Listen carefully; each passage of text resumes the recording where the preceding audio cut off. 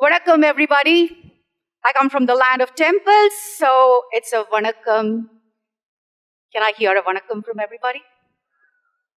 Sat Sri Akal. I was going to do that because you have invited me here. So thank you so very much. I'm truly honored, rather ecstatic to be standing before an August gathering. Respected Principal Secretary, thank you so very much for having me here. And my co-speakers and my dear children, thank you very much. Well,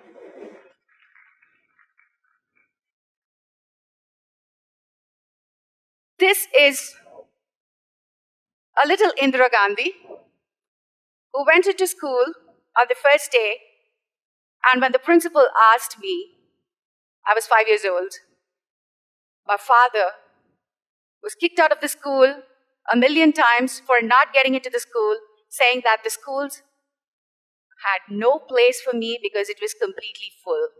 No admissions at all. But my father didn't give up. He said, No, if my daughter went to this school, she would only go to this school at Hyderabad. And persistently, about 20 days of waiting, one final day, the principal calls him in and says, Okay, we will have an interview for your daughter, and if she succeeds, we will give her the admission. Otherwise, I'm sorry. She was a beautiful nun, a six feet tall. She just picked me up in her arms, took me into the room, and said, The first question was, What is your name? I should have said, My name is Srimathy. But I don't know. I said, My name was Indira Gandhi. And everybody laughed at me. They said, You're Indira Gandhi. I don't know what happened. But then I got into the school, and probably with the same qualities of being a leader, was the school leader, went on to play 10 nationals, basketball nationals, represented the state of Andhra Pradesh, was a senior under officer, NCC, the first ever girl cadet to hold a sword in salute, was a paratrooper, was a silver medalist in All India rifle shooting, word of command, and you name it, I was there. Well, this applause, this applause is what is gives you that little bit of kick every time you do something extraordinary. Right? All of us get so attached to this. And the same way, on 22nd November 1992, I was ecstatic being the first woman to carry the sword and give a parade, a salute to the, gen, to the General K.V. Krishna Rao, to the then General K.V. Krishna Rao, who was so surprised to see a girl cadet with such smartness and such boldness. And he immediately called for my father and said, We want this girl to be in the army. And mind you, that was without writing the SSD or SSC. So that's the honor there. Because all of us know how difficult it is to get into the army when you write all these exams. So that was the most proudest moment in my life. While my father came, he met, he shook hands with General K.V. Krishna Rao, and pops up my wedding invitation. So, General and all the colonels were, they didn't know what to express. They were like, Are you very serious? We are talking about taking your daughter into the army, and you are getting her married. No choice. So the invitation was handed, and my journey from sword, not spoon, my friend, it is a sword. So from sword directly into spatula. I was 18 years old when I went into this beautiful relationship called wedding. And you know how it is for an Indian woman to get into this. With all dreams, thinking that it was bed of roses, and you had a prince charming coming in a horse and gonna pick you up. Little did you know that you had so many things to give up in life. No. You just thought you would get decked up. Only the wedding, wedding, wedding, mehndi, and everything came into your fate. You didn't think about the rest of the story. But when the actual hits you, it's totally different. At 20, I became a mother for a beautiful daughter. She was just like a Barbie doll for me because I didn't know what I should be doing to her. She cries and I cry. And uh, I just tell her, please don't cry, please don't cry, both of us will eat chocolate. Because that's what I knew. But then, that's a challenge again. Indian woman, I guess, even if you're a child, we're really brought up in such a way that we do multitasking. And similarly, this multitasking helped me so much to bring her up. As she grew, I think mentally I started growing. And typical South Indian family, it is like if the husband is really doing well, or I should say Indian family and more so predominantly the South Indian family, if the husband is really doing well, the wife will do the household chores. You may be the best cadet of Andhra Pradesh, you may be the best cadet of India, you might have played 18 nationals, you may be the state athlete, you may be the best dancer, elocution, name it. But you will only be doing pastas and dosas. And mind you, children, the pastas and dosas are not going to be awarded because it all depends on the mood of the family. If you did the best and expected something from them, it was like, oh, did I have pasta today? And I'm like, no, that was a dosa. Because they're so preoccupied. Ten years went by. I didn't use my pencil or pen. I used to really earn to write. I used them only to sign checks. I was wondering if I was going to be alive for about 60 years, is this what am I going to do all my life? Slowly, I started thinking and thinking why women were getting depressed when they were getting into mid 30s and 40s. Because our times, predominantly women were at home. So you just had not many people to think of as inspiration. Inspiration always comes from within. That's what I believe. Because being a sportsman, I always thought when I fall down, I have to get back, I have to spring back, and nobody's going to come and pull you off. So similarly, I thought I have to pull back. And for every person, every individual, I think there is somebody, that somebody called a friend. A friend comes to you either to teach or to give you an experience, a lesson. I had both. Being a best cadet of Andhra Pradesh, I had a co-best cadet from Maharashtra whom I met after 15 years of a marital life. I met her at a conference here. I was so happy seeing her because she has grown as an editor, editor of a top notch magazine in the country. I was so proud of her. I thought, my God, professionally, she is so good.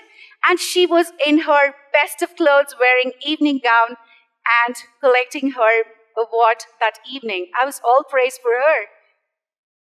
She came to teach me she was Rima Sisodia, whom I always remember and lot to her.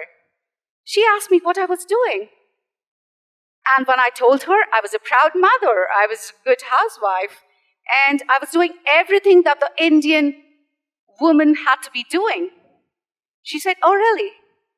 What are you doing to yourself? Are you happy doing all this? I said, I'm the best. You know, my husband treats me like a queen. I have a big house. I have garden. I have everything possible that a woman needs.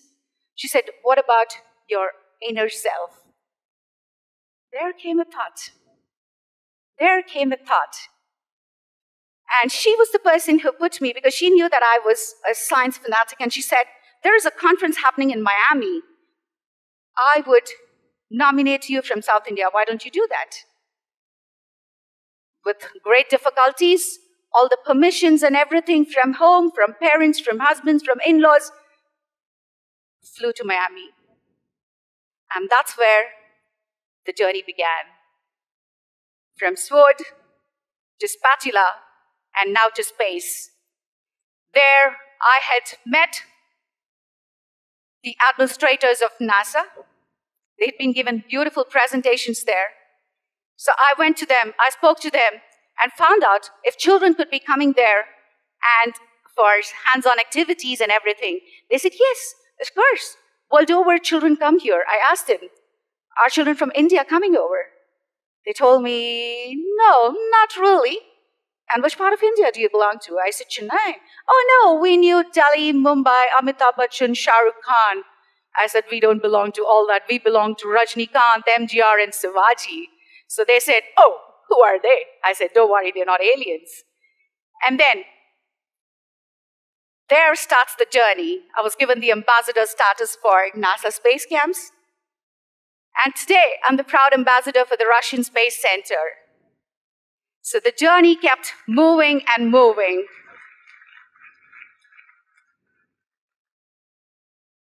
That was not all. When you start thinking about space, space is so huge. You want to do something, but you don't know what to do because you're not a space scientist, neither are you an engineer to do anything. But you had creative ideas.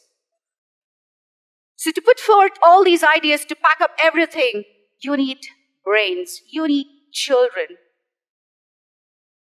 Then I said, okay, let me start an organization which can do everything. So that's where Space Kidz India was born. And Space Kidz India is to create platform for children which gives space that is the inner self, the cleansing of inner self, the space that is Antariksha, everybody knows about it, and space is the platform. When I was able to take children to the Olympics to perform, the first ever time from the country, about 100 children to perform at the Indian Olympics, London. And then about 1,500 children to NASA. So this was on and on. But there is something that says this is not all when you look around, children keep talking only about becoming engineers and doctors. What about scientists for India? Dr. Narayana Murthy a couple of years ago mentioned that we still don't have a brilliant idea for the last 60 years. But I refuse to accept that. I totally refuse because we have the brains. Indian children have got the best of the brains. You needn't be an IITian, you need not go to the best of the universities, but still, even a student from the smallest town has got brains. It's just the platform that is required. So I said to myself, to create scientists for India, let's embark on this journey called Young Scientist India. So the last four years we've been working on that and that culminated into picking the best six students, best six students who went on to create the world's lightest, smallest, and the first ever 3D printed satellite, the Kalam Sat. We launched that from NASA Wallops, 22nd of June this year, and created history. Everybody said, everybody said, are your kids IITians or MITians? I said, no. I've got kids from the village called Pallapatti. You wouldn't, you have to figure out in Google where it is. And Narnapuram, again, you have to figure out from Google where these places are. And these kids are from such towns, small towns. But when given a platform, NASA was baffled to see the idea. They said, Oh my God, Indians can do so much at this age. And that's history. That's history.